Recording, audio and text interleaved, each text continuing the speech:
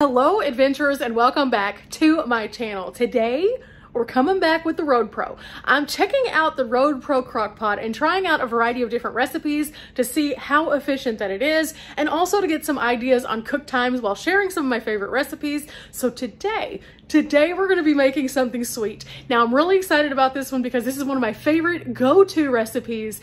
I like to make this whenever I'm in a sticks and bricks like I am right now, but I also wanna be able to adapt it to make it on the road. And I think that the crock pot would be a great solution for this. So I can just like throw it in, go have some adventures, come back and have a sweet treat. Now, with that said, there's going to be a few things along the way that uh, we may experience. We may experience longer cook times. We may experience more power pulled away. I don't know. That's why we're doing all these tests while we're here before we hit the road. So with that said, let's make a dump cake. For today's recipe, we're going to be making a dump cake, and you only need three items for that. You need a cake mix, some form of fruit and heavy syrup, and then also some butter. Now, typically I would use two large cans of this in a casserole dish. And since I'm only making a small amount, I picked up one small can. This, I would normally use one whole box. So we're going to use half a box. And I would normally use a whole stick of butter. So today we're going to use half a stick of butter. But I'm going to get this all ready to go. And then we're making a dump cake. Head And plugged it in and I'm going to turn it on so that we can get this thing heating up because it does run much cooler than my other crock pot. So I want to get it kind of heated while I'm getting this stuff actually in there. That'll speed it up a little bit on the process. So right now it's pulling about 96 watts. I've already got it turned on. And so I'm just going to leave the lid on until I'm ready. I'm going to go ahead and open the can, cut the butter, and um, portion out our cake mix, and then we'll put it all inside. I have made this in the crock pot before, but I've also made it in the oven before, and I love a good dump cake. It's kind of like a cobblery yumminess, and um, it's perfect, especially if you uh, happen to be going down the road and want something sweet whenever you get there. So I thought this could be super fun, and then if it's a super hot day, I was kind of thinking, like, if I was driving down the road making some peach cobbler, I could just stop off at like a truck stop and get a small thing of ice cream to go with it, and that would be so good. So um, today we're just gonna worry about this though. We're gonna see how long it takes to make it, and uh, if this is a logical thing that we could make on the road using the Road Pro. So here we go. We're gonna use the heavy syrup. You need to make sure that you keep all of the syrup in there. This will just make it way better. And um, I know your instinct is probably drain it. Don't drain it. Just keep it rocking.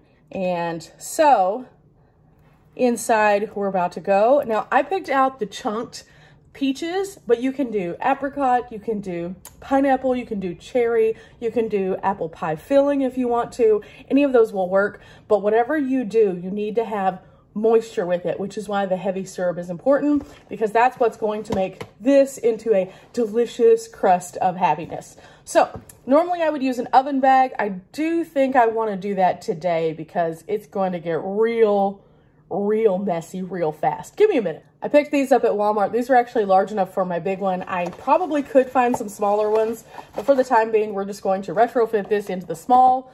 That way, we don't end up having to scrub and clean quite as much. Although this does come out, so it does make it a little bit easier. It's always nice just to kind of have an extra layer there. And one of the things I really like about these also is you can close them at the top and it's going to keep more of your moisture in when you're cooking your meats. So I'm going to go ahead and get this set up for us and then um, we'll dump our peaches inside. Okay, just kind of retrofitting this, capping at the bottom, pushing it to the edges, pulling it over the top, and making sure that it's down in there good. That looks good. Again, I need some smaller ones of these, but definitely recommend these, especially if you're on the road, because then it's going to give you a little bit extra protection just in case you hit a weird bump or something like that and things shift. So now it's time into the bottom we go. Wow. Okay, I'm gonna have to spread those out just a little bit. We're playing it by ear here. Okay, spreading these out just a little to make sure that they fill the entirety of the bottom. Realistically, this may be a thicker base, but it's okay. I really like peaches, so this should work out well.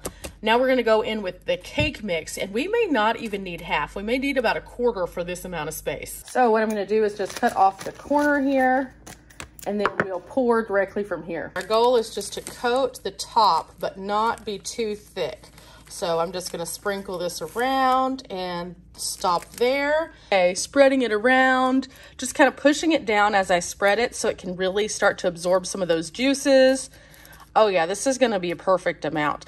This was just under half, so this is gonna be really, really good. And I know it looks crazy, but this is about to take on a delicious golden topped crust when we add the butter. So with that, let's cut some butter.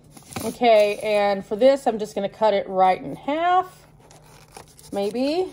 There we go. And take this side and put it to the side. Then I'm gonna unwrap this part, but leave it on the paper just so it will make mess, less mess. And then I'm gonna chop it into little pieces. Your goal is to have tiny pieces that look like this. And then we're going to just sprinkle those on the top of the dump cake. And then if we need to, we can always add more butter as it goes if it needs a little bit more moisture. But I think half is going to be enough. We'll see though. Looking like this, and then I'm just gonna grab them because it's just me here eating. If you were feeding somebody else, you would wanna grab them with a utensil of some kind. But um, yeah, here we go. We're just gonna put it on the top and just kind of line them up just so that they're coating the entirety of the top. And then we're going to cover it and let it cook. Time being on this, I'm just gonna leave the bag part out because I don't wanna trap a bunch of moisture in there. But um, I just kind of pulled it up a little bit so I could make sure that the rim pushes down really nicely. As you can see, we're pulling 95 watts right now and uh, we're using the Pecron for this. Oh, we wait. This is the hard part because it's gonna start smelling oh so good in just a little bit. And I'm gonna be like, grumble, grumble, hungry, hungry and I can't eat it yet. Now, the thing is with this, whenever you're cooking this, you want it to cook, but you don't want it to like be stirred really. We're going to push the crust down slowly as it cooks. So as the butter starts to like get nice and melty on the top, we're just gonna kind of push on that so it can make sure that all of that cake mix gets coated in the butter or the juice. And so that's gonna take a little bit, but we're just gonna leave it alone and um, fight the temptation to come back over here. I'm gonna set this for about an hour to kind of see where we're at in an hour because realistically, again, a crock pot is slow moving. Now, if I was to put this in the other Road Pro that I have, the stove, it would cook much faster. But I wanna see how long it's gonna take and if this is achievable in the crock pot itself. So now we're off to uh, do other things and forget about it for a little bit, but I am gonna set a timer. So whenever I hear the timer go off, we'll come check it. The timer has the countdown going. Guys, I don't know what has happened. I came over into the kitchen and I looked over and clearly still plugged in, not drawing any watts. Barely warm to the touch. Very much so on because that's off, on, nothing changes. Okay. I took the little thing off thinking maybe if I stretch the cord out, that'll fix it. Um, I don't know. This is going to take a minute. Definitely still not working. I'm going to turn the DC off and then turn the DC back on to see if it's a power station issue. Nope, not a power station issue. Okay. Maybe I'll take this out and plug it in sideways. Nope. Hmm. This is sad. I don't know what's going on and I don't like it. And this is not great. I've had such good luck with my Road Pro. And so I would like to think that this one is just like maybe a one-off. I don't know. The first thing I cooked it had no issue whatsoever with, of course, because we saw that. So I don't, I don't know. I don't know what to do here. Um, so I think what I'm going to do is I'm going to continue trying to troubleshoot this, see if there's something that I've done on my end that is wrong. This is why I do these videos, guys, so you guys can see exactly what I experience, how it works, and then what the possibilities are. Um, again, never had an issue with Road Pro. So I'm thinking this might just be a fluke.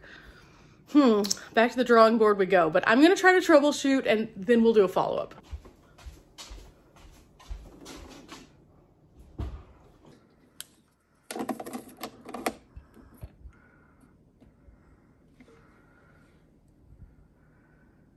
I'm now super confused. I went through and I checked the cord to make sure the cord was not crimped. It didn't have any issues. I checked the actual place it goes into the cooker. It's fine.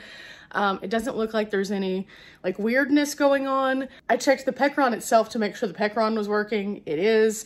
I even brought in the Jackery over here to see if maybe it was just not for some reason like working with the Pecron and um, Still not working over here either. So I believe that this thing went, that's disappointing. It shows it's only pulling one watt, which if I were to unplug this, it would still show it's pulling one watt because that's just the DC being on.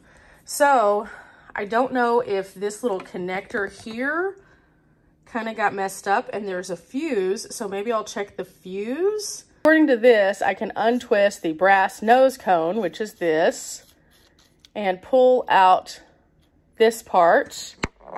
And this is the fuse somewhere in here. There's the fuse. Okay.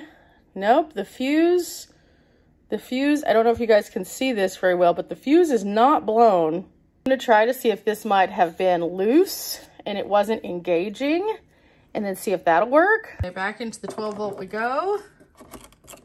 You know, things happen sometimes. Still nothing. In we go. And let's see. Sometimes it takes it a second. So we're gonna have patience. We're gonna take a little breath. We're gonna take a little breathy poo. No, no, it's, it's not working. Man, that's disappointing. And the crazy thing about it is it's still lighting up here showing that it should be delivering power. So what this leads me to believe is that there is an issue somewhere after this point, maybe.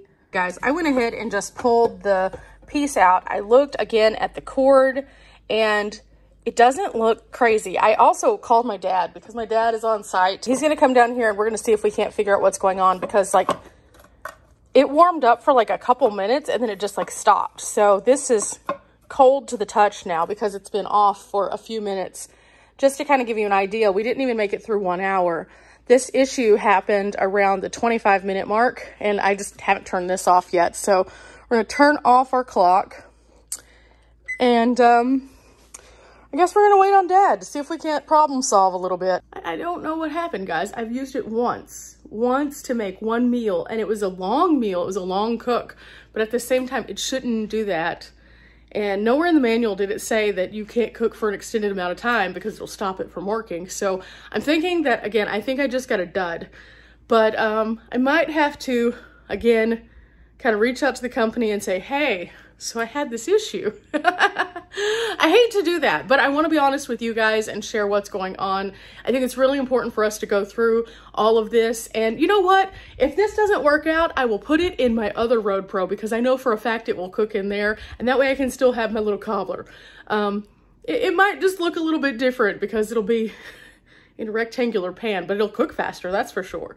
So, um, yeah, we're gonna wait until dad gets down here. I think he's gonna bring a test light and then um, this is one of the reasons why I always tell you guys, if you have an opportunity to check out your products before you take them on the road, do it because you'll be able to see if you need to send it back, troubleshoot, if there's something that you need to learn through the learning curve, all of those things. So um, yeah, I'll give you guys a follow-up in just a few minutes. Ahead and got this guy out so we could go ahead and get the cobbler cooking because it's going to be a few minutes and I don't want my stuff to go bad. So I'm going to pull this out and for those who haven't seen my original video about this guy, definitely go check it out. This thing is so handy. The cord stores up in here. There's a fuse.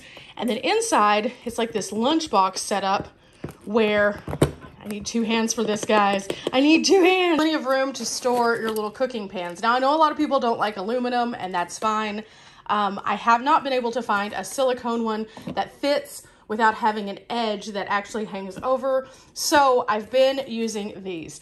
I've used aluminum foil my entire life. I don't have a third eyeball. I haven't gotten any kind of craziness. So I understand this is not the desired for everyone. However, this is what they actually recommend that you use in here. So that's why I've been using it. But with that said, I'm gonna pull one of these out and then I'm just gonna transfer the cooking bag over into this and then we'll plug this up and get it started. Still have my cobbler. We want my dump cake. So I'm gonna make sure that I can get it cooked and then we'll troubleshoot this and I'll follow up. I'm really sad. I'm super, super sad because again, I know Road Pro products are really good. I've been using this one for a long time. This one has had zero problems other than whenever I physically dropped it myself on my foot, which ouch, don't recommend dropping any kind of products on your foot ever. Um, but by doing that, I blew the fuse myself. It had nothing to do with the product. So um, that was an easy replace, an auto parts store, a plug and play, and it was good. Again, learned my lesson. Don't drop something on your foot, like ever. It, it's not good for you or for it. But with that said, I'm going to go ahead and get this cooking, and then as soon as we get a chance to, we'll figure out what's going on with that one and um, see if we can't get it solved. If not, we're gonna have some cobbler just the same. It's gonna look a little bit different because it's messy now. It was set up for the circle and now it's, well, you see, but I'm gonna try to move around the butter just a little bit to kind of get it more even and then I'll put it on the power station. Okay, we have it all taken care of. So I'm just kind of rolling the bag down just a little bit so I can fit it inside. We're gonna close it up and then it locks into place. And then over here, I have to pull out the cord, which normally I do before I put the food in. I don't, I don't know what I was thinking today. So um, here we go, cord's out. Gonna unwind it and then plug it in over here and we are good to go. This thing is gonna be rocking and cooking. And just to kind of echo that it is not the power station, immediately went to work. So it is definitely the slow cooker. Now I need to set a alarm for this one this one cooks a little bit faster, so I'm gonna set it for about 30 minutes and then we'll check on it. Okay, timer, 30 minutes, and go. Meantime, I'm gonna move this Jackery kind of out of the way so it's not on the stove and set it over here, and then we'll address this in a minute. Ooh, I'm excited now, again, for the second time. You know, I'm definitely excited about the crock pot if it works. But if it's not going to work, I'm very happy that I'm testing it out here at base camp so I don't have that extra piece in my rig. I know this guy works. We're gonna have some deliciousness and I think I'm gonna actually be doing a couple recipes in this because you've asked me some of the things that I cook along the way. So I'm gonna be sharing some of those kind of as we go. But for now, it's all about trial and error. And well, as good as that stew was, that might have been its swan song. I don't know. it's just kind of how life goes. And you know, this is actually something that explains how van life works too. Van life is a little weird. Sometimes everything goes smooth sailing. Sometimes it's a hot trash boo boo mess. But um, today we're not gonna let that get us down. Instead, we're gonna improvise, which is what I suggest you guys do anytime that you have a struggle while you're on the road. The reality is we can't control the outcome of every possible scenario, no matter how much that we plan for worst case scenario stuff to happen. So being able to pivot is imperative if you want to do van life. And so, uh, you know, as much as this is a wonderful, glowing, happy, you know, thing that could have been excellent, it just kind of shows that hiccups really, truly do happen with all things, not just the things that you estimate they could happen with. So with that said, we got a timer set, I'm ready for some cobbler, and um, we're gonna walk away and not think about this until dad gets here, and then we'll test this to see if we can figure out what's going on. And if I can't figure it out, I'll reach out to the company and let them know because um, they seem to be extremely responsive on their social media. So I definitely at least want them to know so that they can kind of follow up to see if this is an ongoing issue as well. It just helps companies to establish if there's a pattern especially if there's like a number on them, like a serial number. It could be that one whole serial number section is messed up. So uh, always follow up with companies, guys. He said the same thing I did. If there's power to this box, the fuse is good. We checked that, so that's good. So now we're trying to see what exactly is going on. I don't have a lot of high hopes for this, guys. Okay, he said that there's another spot that unscrews, so we're gonna try that and see if it helps. Again, just trying everything before we call it quits on this one because I refuse to give up if, if there is something we can fix. Um, at the same time, probably still gonna follow up with the company just to let them know, even if we can get it back up, because this is, if it's inside this little box, this definitely was how it came. Looks weird, guys. This is what it looks like on the inside, and we're trying to address if this is burnt or if this is just how it's supposed to look. Yeah. Um, this is interesting. Guys, after taking it apart, um, doesn't look the best. You'll notice that like it was coming into the area from and turning on that light, which means that the connection from the fuse to the inside of the switcher box was good. Otherwise that light would have turned on. But the issue I think was coming after that.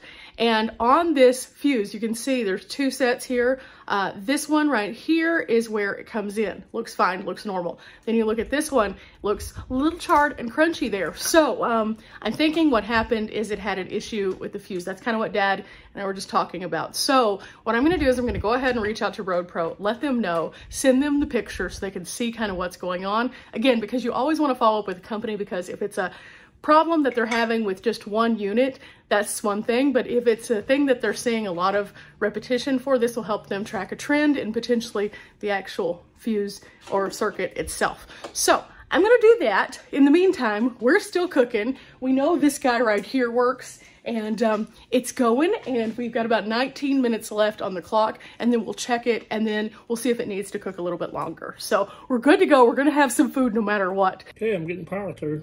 Power through, that's the side that it goes out on? Well, you got a ground and a positive. There is Get power. power here, so it's in here. Ah, A good chance that we got a problem inside of here. there's nothing we can do about that. It's way it's screwed in.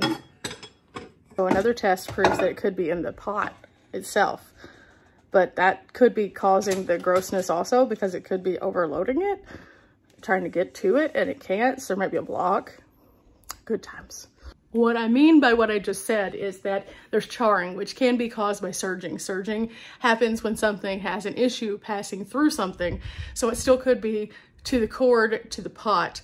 It could be along that line. At the same time, it being charred means that it has a bigger issue with failing. And so even if it can be established that it is the amount that it's putting through the little circuit thing, um, it's just a lot, guys. Ever wondered what the inside of one of these looks like? This is interesting. The cord comes up through the bottom and then it attaches to the little thing on the very bottom through a clamp and then it goes over. Wow. Hey guys, dad found the issue. Um, this could cause a lot of issues actually. So it's not even connected. This thing is not connected at all. The solder came undone. So the soldering came undone and so it's kind of hard to see that, but if it's not connected, that's why the power would stop. Now, why would this have happened after we'd already used it? It could have gotten that it got too hot for it or snapped it or it wasn't soldered good. Um, so sometimes, sometimes it pays to take things apart and thanks to dad, we were able to figure that out. So this is something that is a little bit of a, a question mark now. This is my conclusion. If this was just an everyday average thing that you were experiencing while going down the road, more than likely you would not be able to fix this because the average person doesn't travel with a soldering gun. The way to fix it is to resolder it. But if it's doing this as a result of the extreme heat on the pan, it could happen again. So that's kind of my thoughts on this one. Um, it does have that charring, probably as a result of trying to push that power, even though it didn't have a place to go.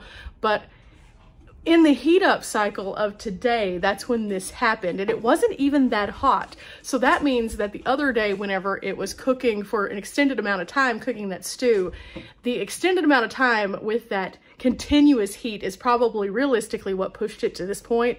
And today it was just the breaking point. So now we know that, and again, I'm gonna reach out to Road Pro, let them know all of this, but for the time being, we're just gonna focus on the food at hand, get this video kind of wrapped up, and then let this be a cautionary tale that this stuff can happen. Now, I don't think that this is the average thing that happens with this particular device. I really do not. I've seen tons of amazing reviews from truckers and long haulers who use these all the time, which is what got me so hype about it.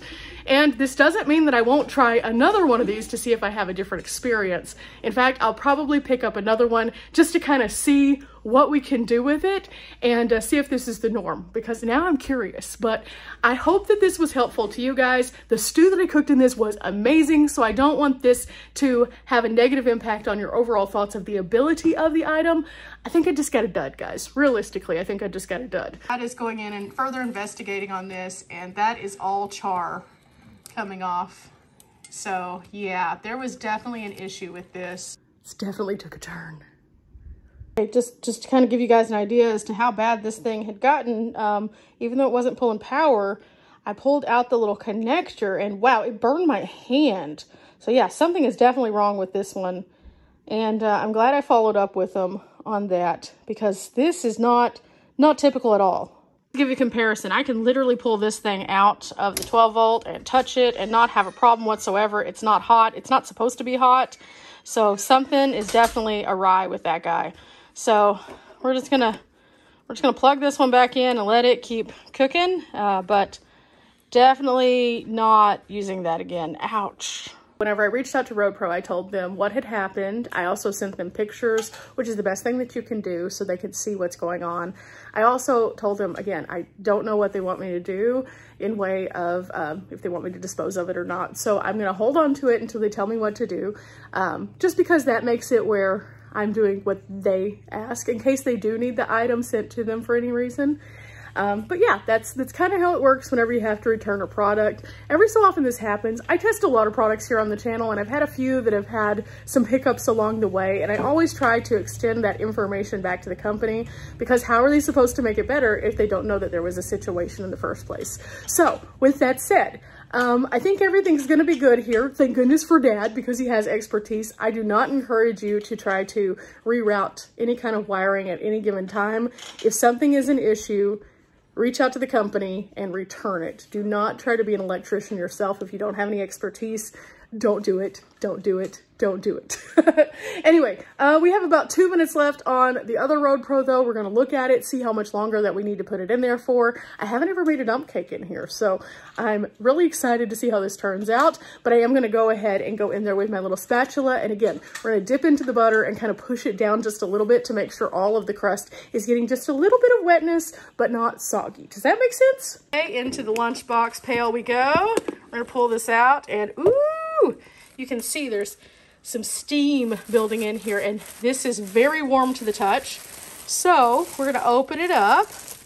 Oh my goodness, that is a golden deliciousness going on there.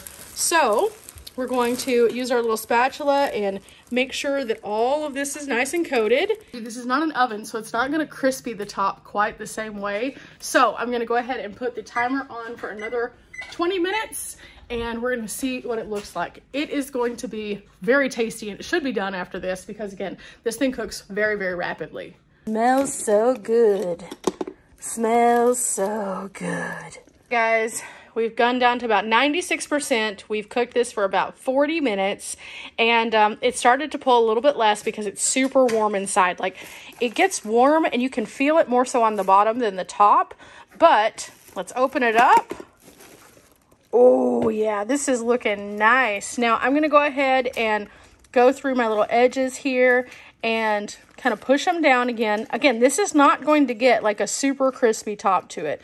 So our main goal is just to make sure that the cake part of it is cooked to the consistency that we want it. But this is going to be an easy way to have some cobbler without having to have a full-on stove.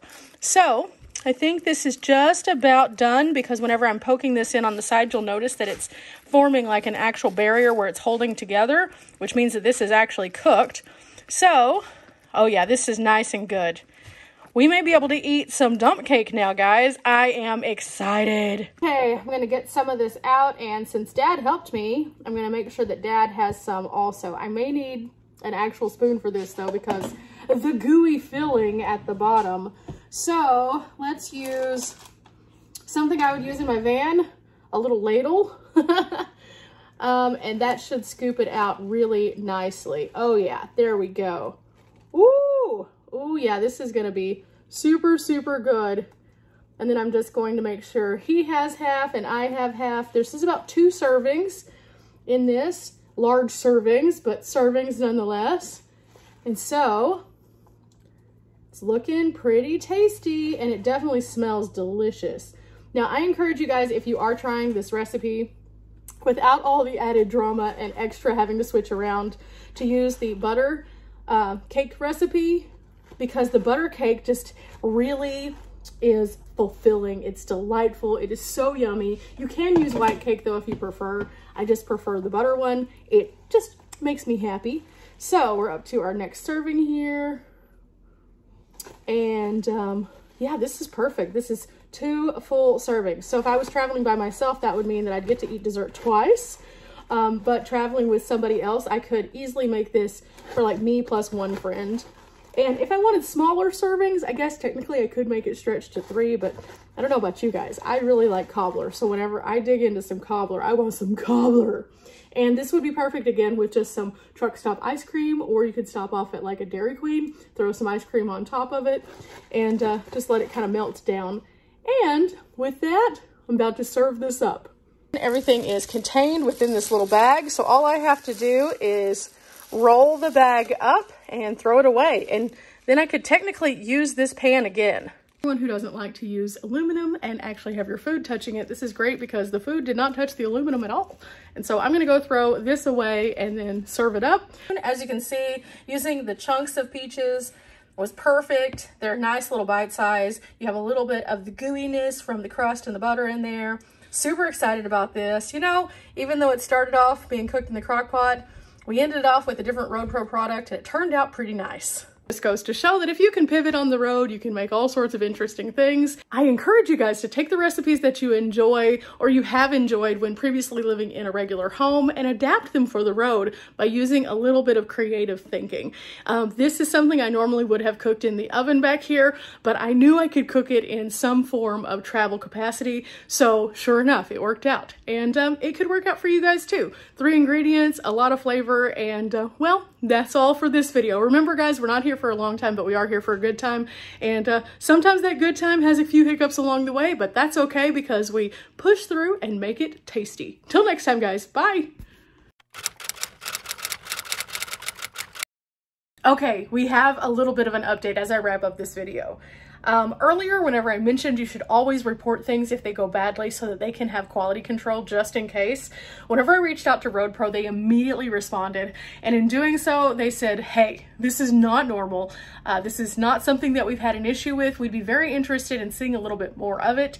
And I told them, my dad and I took it apart and they were like, that's fine. We would like to see so that we can make sure this isn't something that's coming off the assembly line and affecting other units. So I'm gonna be sending my Road Pro crock pot back to Road Pro and they're going to exchange it for another one. And so that way we can make sure that first and foremost that I have a functioning crock pot, but also so that there's no safety issues for others because that was something they were very concerned about as I would expect they would be. They're a very good company. Again, I've been using my other stove for quite a while and I've loved it. And I know that there are hundreds of thousands of over-the-road drivers who use these every day. So again, it's just important to follow through with any company and I'm going to get this other one in and then we're gonna do some other tests. I can't wait. I have some other recipes to share with you. But in the meantime, we got to pull out the stove and I always like a good stove moment. So uh, until next time, guys, bye.